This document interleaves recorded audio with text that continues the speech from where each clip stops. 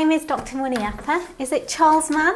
Yes. It's nice to meet you, Mr. Mann. How can I help you today? I I, I got up this morning and uh, the left side of my arm and leg was really weak and um, it only lasted for about 30 minutes and I'm, I'm only here because my wife insisted that I told my nurse because I came for my uh, regular checkup for my diabetes and she insisted I'd mentioned it to the nurse and she said I should see you. Right, okay. And um, how long ago do you think this happened? Uh, about four hours ago. Four hours ago, okay. And you feel fine now? Yes, yes, I do. Yeah, okay. So you mentioned it was your left arm and your left leg that were Yes. weak. Um, were you able to get out of bed or did it stop you doing that? It, it, it stopped me for about 30 minutes or so. Okay. It was really difficult to move, and then it, it, it went off, and then I could move about okay. Okay. Did you notice any other weakness, like in your face? No, nothing, no. After the initial presenting complaint from the patient, Dr. Anu asks lots of closed questions to find out more about the patient's condition. Okay. Were you able to talk okay? Yes, Yeah. yes. Has this ever happened before to you? Nothing, nothing like this at all before at all, no. Okay. Did you have any chest pain at all at the time? No. And did you feel your heart racing at all? Yes, it, it, that was racing. Okay, and that happened at the time that you had the weakness? Yes, yes, it did. Okay. And has this ever happened before? Not at all. Never. So it was just about four hours ago. You woke up. The left side was was weak, Yeah. but you were able to talk okay. Yeah. Dr. Anu carries out a quick summary to ensure she has the story correct so far, and then carries on with more questions. Yes. Um, were you able to see okay? Yes, vision was was fine. No nothing else. problem. You mentioned that your wife was worried, and she's urged you to mention it to the the mm, nurse Yes. today. Was she worried about anything in particular? Were you worried about anything? No, I, Here, the doctor begins to find out about the patient's ideas, concerns, and expectations. Another good point is not only does she ask about the patient's ideas, concerns, and expectations, but tries to find out a little bit about what his wife was also thinking. I, I don't worry about that sort of thing. But it was my wife. Did you have any ideas of what it could be?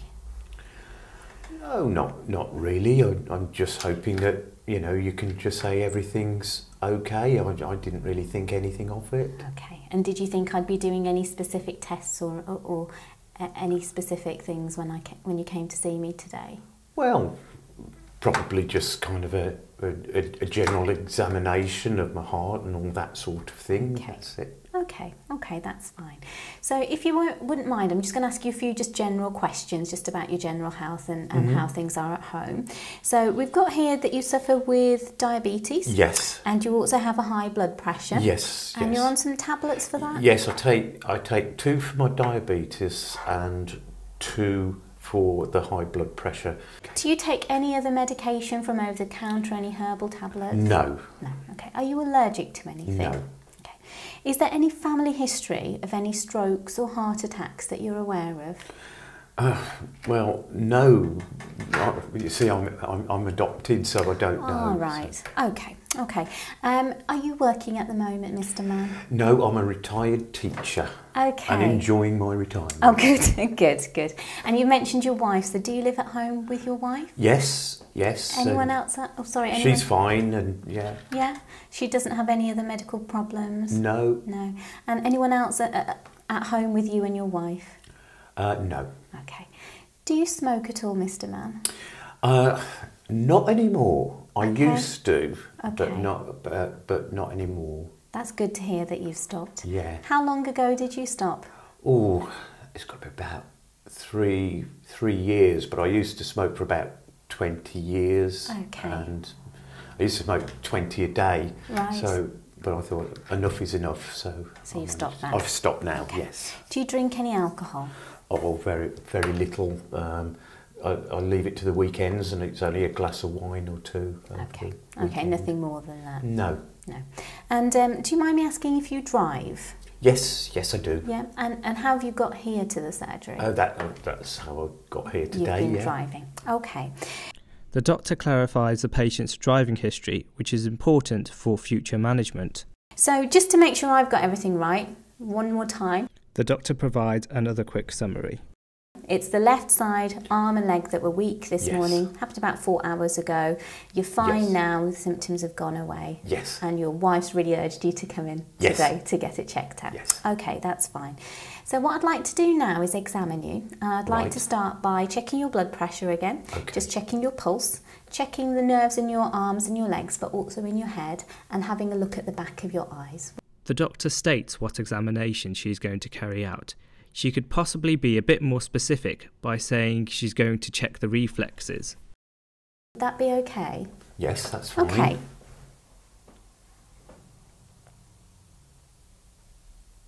Okay. Well, thank you for letting me um, examine you. All the checks that I've done today have come back okay, Ah, which is good. good. Okay.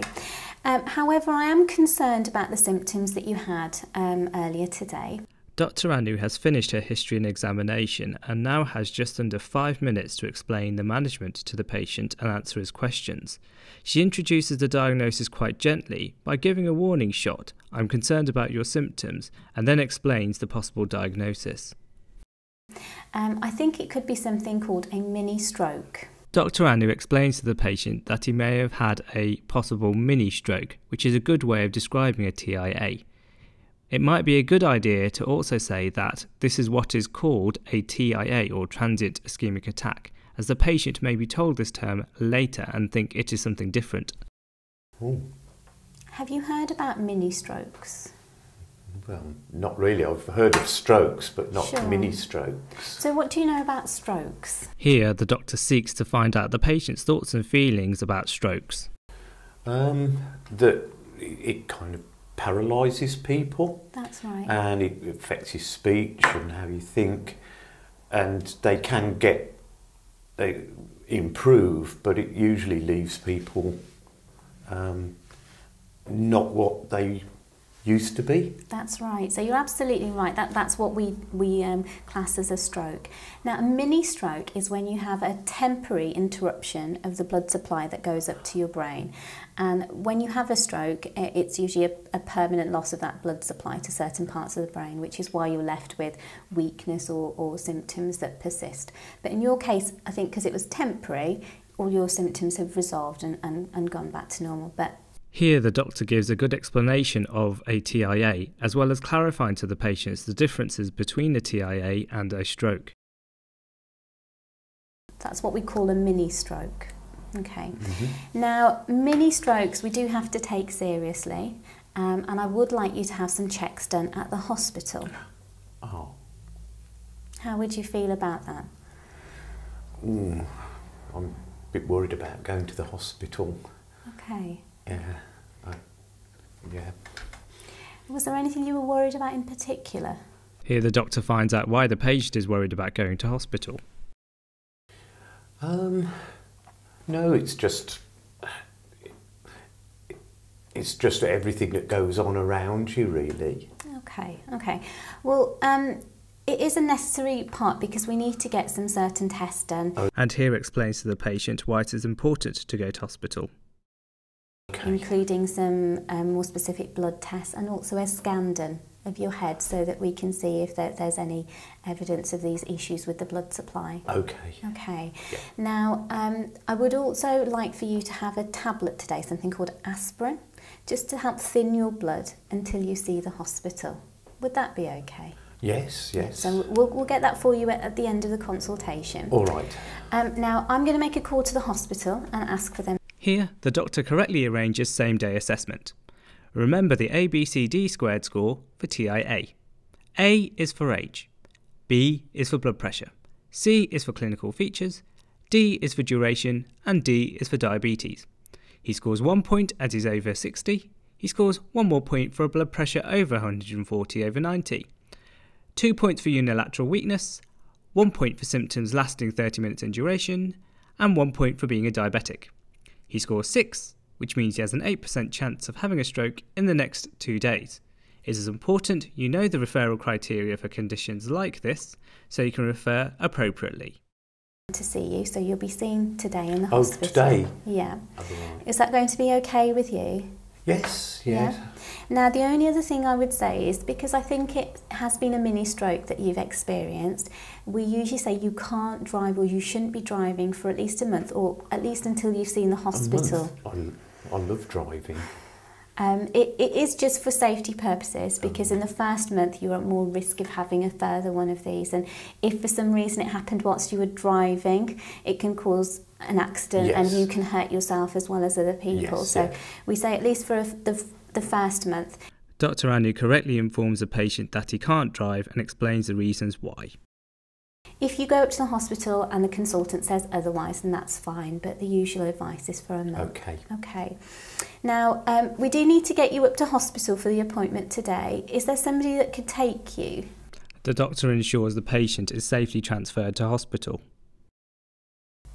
My, my, my wife, as long as she can get here, she, she can drive me, yes. Okay, that, that's great. Now, just some advice. If this happens again Mm. before you get up to the hospital, um, so there's weakness in your face, any problems with your speech, any problems seeing, or weakness as you described this morning, I, I would like for you to call 999. It's like The doctor safety net on what to do if a reoccurrence occurs. The appointment is going to be sometime today, but I will confirm that with the hospital. And if that happens when I'm at home, it, it, it's a 999 call, Nine is it? nine nine okay. call, um, just because we need to get you checked ASAP. All right. Okay. Thank you. Um, now, would you like some information about mini strokes? Yes, I would really. It's Yeah. kind of been a bit of a shock, really. Sure, okay, I, c- I can see that. So I'll print out some information for you. Yes. Um, I'll make the arrangements at the hospital. So if you want to take a seat in the waiting room, I'll let you know when that appointment's going to be. Thank you. Um, the information that I'm going to give, it may be worth as well sharing to your wife. So if she recognises these symptoms as well, Yes. that she'll know what to do. All right. Is Thank that you. okay? Yes. Do you have any questions at the moment? The doctor checks the patient has understood everything. No, it's just taking it all in, really. Sure. Uh, I probably would have when I when I think about it, but Yeah. not just at the moment. Thank you. If you do come up with any questions, if you just write them down, and I'll make an appointment to see you next week. The doctor arranges specific follow up. It is important you always clarify when the patient should be seen again if you deem this appropriate. as long All as right. there's no other problems in the meantime. Okay. So you can see the hospital, see what they say, and then we can maybe have a chat next week. All right. Thank Is that okay? That's fine. So I'll make those arrangements. Just have a seat in the waiting room. Thank you. Thank you very much. Thank you. So, how did she do? Dr. Anu has a structured history, and like in this consultation, you should try leaving five minutes for the management section. She made an appropriate referral based on a rapid assessment using the ABCD squared criteria. An appropriate history needs to be taken, and in this case, driving history is important. Overall, this was a clear pass in all domains.